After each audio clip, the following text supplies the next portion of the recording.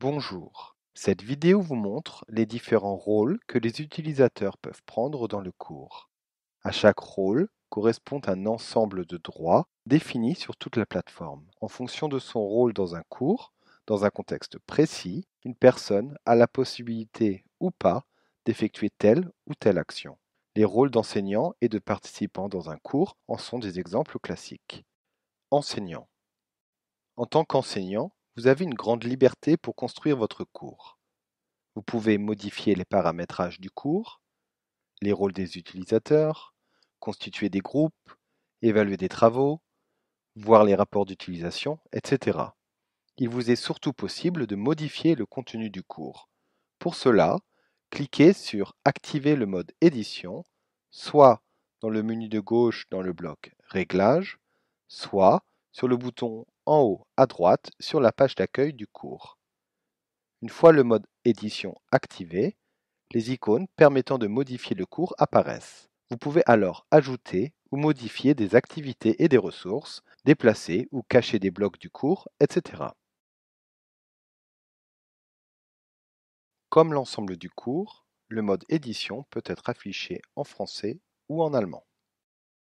Enseignant non éditeur. En tant qu'enseignant non éditeur, vous pouvez mener un cours en ayant accès aux contributions des participants aux différentes activités du cours. Vous pouvez également les évaluer. Vous ne pouvez cependant pas modifier le contenu du cours. Ce rôle convient par exemple à un tuteur qui assiste l'enseignant du cours. Participant. En tant que participant, vous avez moins de droits dans le cours. Vous pouvez participer aux activités du cours, comme rédiger des contributions par exemple dans un forum. Vous avez également accès aux ressources du cours. Vous ne pouvez cependant pas modifier le contenu du cours. Vous ne pouvez donc pas ajouter d'activités ou de ressources. Vous pouvez afficher les évaluations de vos travaux si l'enseignant vous y autorise. Dans un cours, l'affichage et la navigation d'un participant se différencient clairement de celle d'un enseignant. Visiteurs. Les visiteurs ont des droits très restreints. Ils ne peuvent habituellement pas contribuer au cours. L'accès visiteur convient tout à fait pour permettre à des collègues de jeter un œil à votre cours.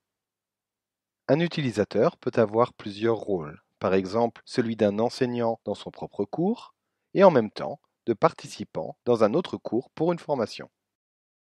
Changer de rôle. Cette fonction permet à l'enseignant de vérifier ce que voient les participants de son cours. Vous avez par exemple ajouté un contenu dans le cours ou caché un bloc du cours.